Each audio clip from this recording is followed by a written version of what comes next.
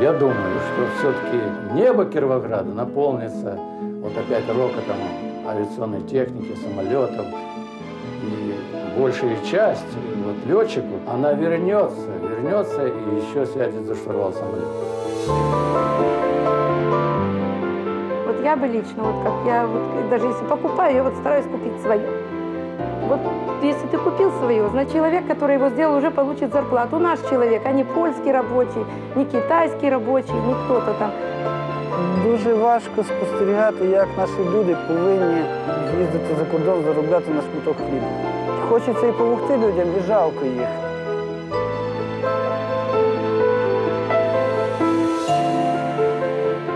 Утро началось в 5 часов. Каждое утро встаешь в 5 часов, на улице еще темно. Э, Автобус уходит в 5.40, на него нельзя опоздать. До этого нужно позавтракать и успеть.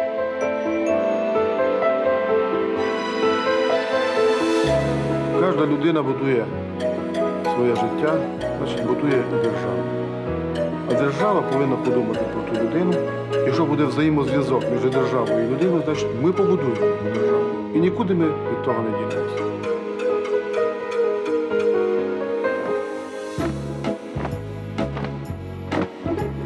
Так уж случилось, что традиционно милицию в нашей стране не любят. И поэтому своим трудом я решила изменить это мнение у людей.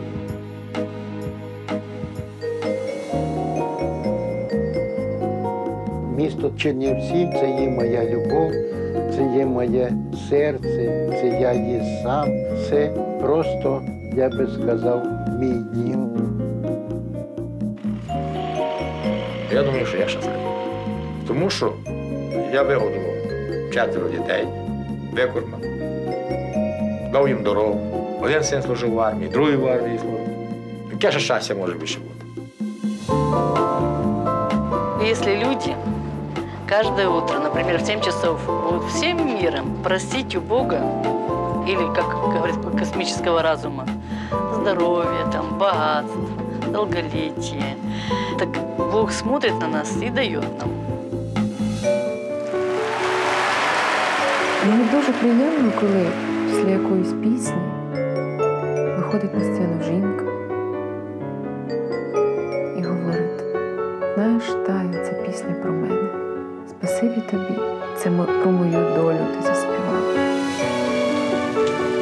Мне бы хотелось, чтобы была стабильность в нашем государстве, чтобы люди не переживали там ни, ни за пенсии, ни за зарплаты, чтобы могли ходить спокойно по улицам вечером. Хотя бы так, как раньше это было. Что вышел в 9 часов, не страшно было идти.